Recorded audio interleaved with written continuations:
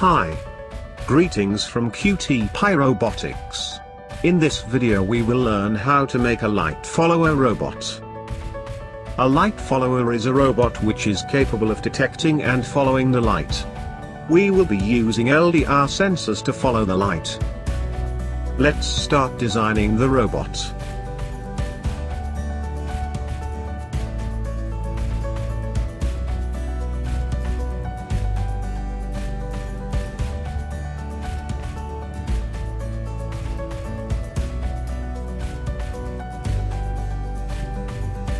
Components required.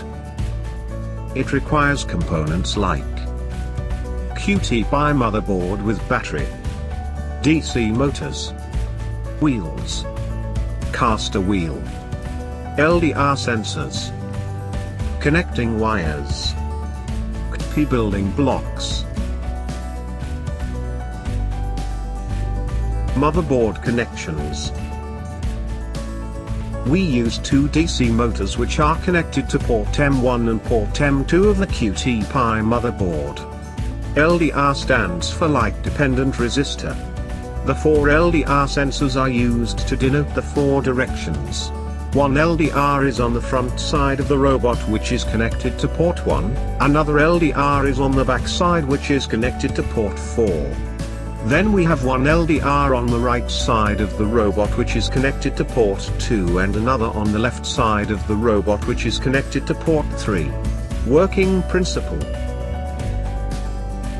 When the light falls on the front LDR, the robot will move forward.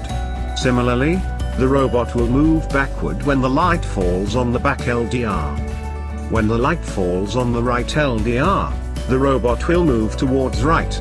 Similarly, the robot will move towards left when the light falls on the left LDR. The robot can be programmed through QtPi app. Make sure that the motherboard is turned on.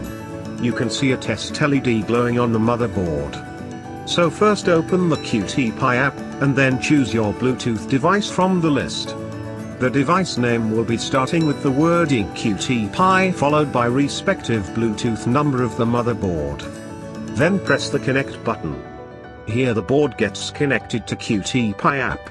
Next, select light follower icon. The instructions will be displayed related to the project. Click on start light follower to get started with the project. We have sliders to vary the speed of motors and the range based on the intensity of light. Let's see our light follower working.